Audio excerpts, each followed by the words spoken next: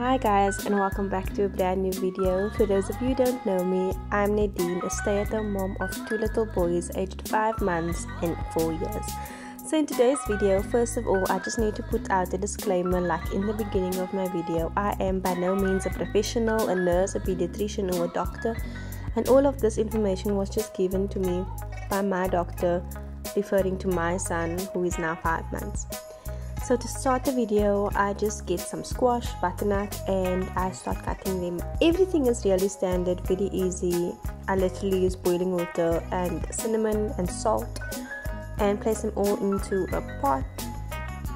And I let that cook until it is nice and soft.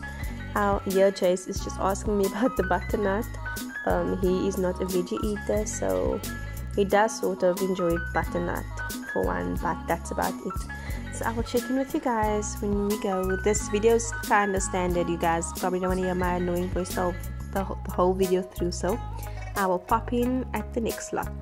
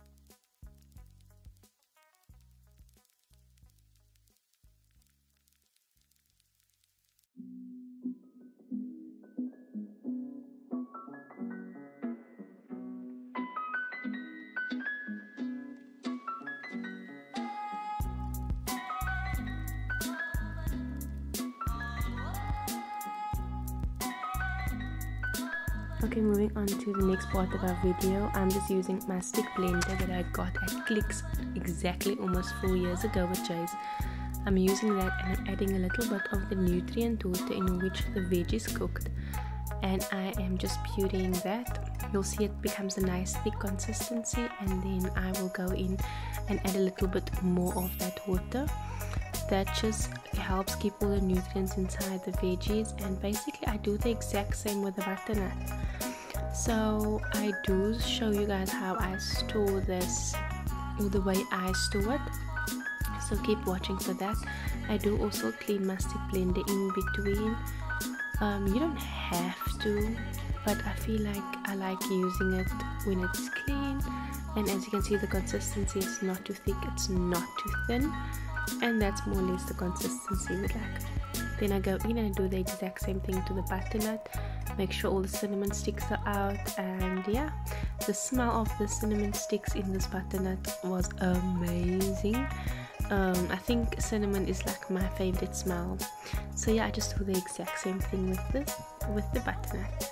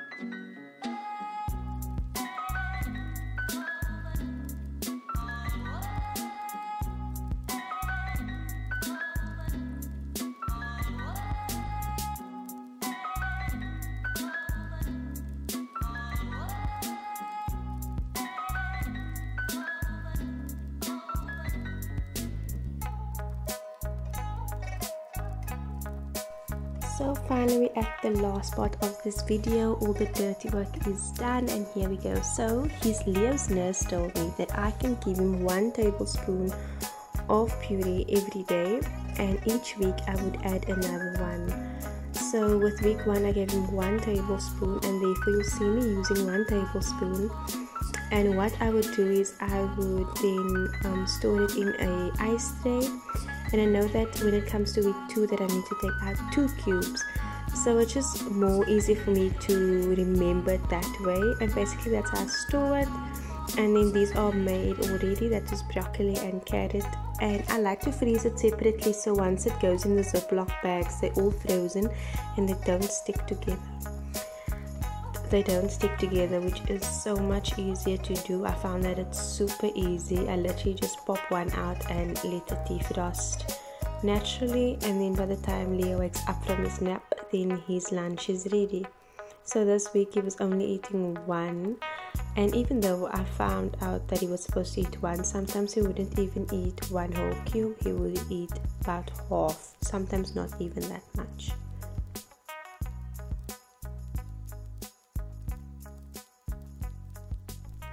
I also found that when storing it's best to write the contents and when you made it.